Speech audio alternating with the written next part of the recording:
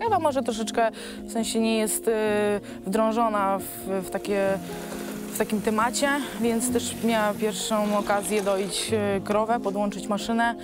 Jest bardzo ambitną dziewczyną, więc y, i, i pracowitą, więc widać, że ma chęci. No jest mimo wieku młodego jest bardzo fajną, inteligentną dziewczyną. Jest, wydaje mi się, mega bardzo szczerą osobą. Ewa bardzo się starała w tych codziennych czynnościach. E, Naprawdę było widać, że no, daje dziewczyna radę. Naprawdę. No, fajnie, miło nas zaskoczyła razem, żeśmy świetnie współpracowały i bardzo, naprawdę. Myślę, że, że tak, że jest faworytką. Ewka tutaj jeszcze może dać, ten malutki. Aha, dobra.